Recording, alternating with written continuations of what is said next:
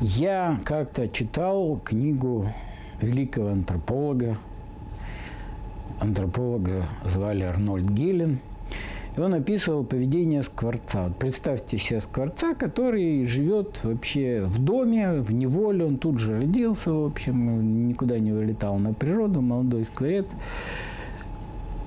И вот однажды приходит время, и этот скворец зимой начинает видеть муху. Мы знаем, что никакой мухи нету и быть не может, но он ее так сопровождает глазами.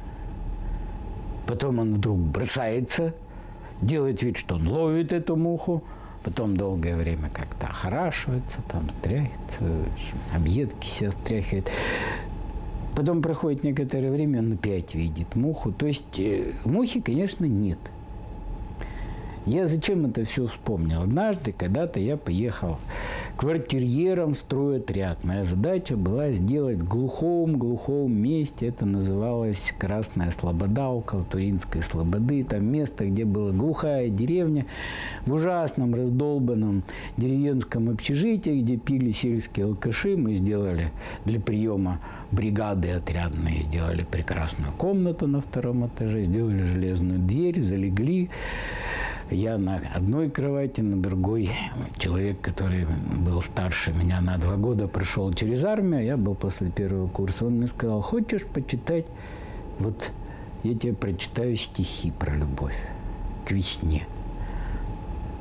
И он прочитал целую тетрадь.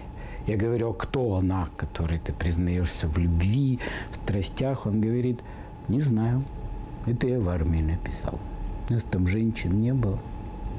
То есть я что хочу сказать, что у скворца, что у человека периодически внутри наступает весна, когда надо в кого-то влюбиться. Это мало связано с погодой, может быть холодно, может быть вообще грязно, может быть ужасно все оформлено какими-то домами хрущевскими. И это не важно. Внутри есть потребность весны, и в это время пора влюбляться неважно в кого, можно писать стихи, а потом надо собрать, набрать подходящих женщин, на которые это можно спроецировать, и прекрасным образом обойтись вот этим чувством, которое нас порадует.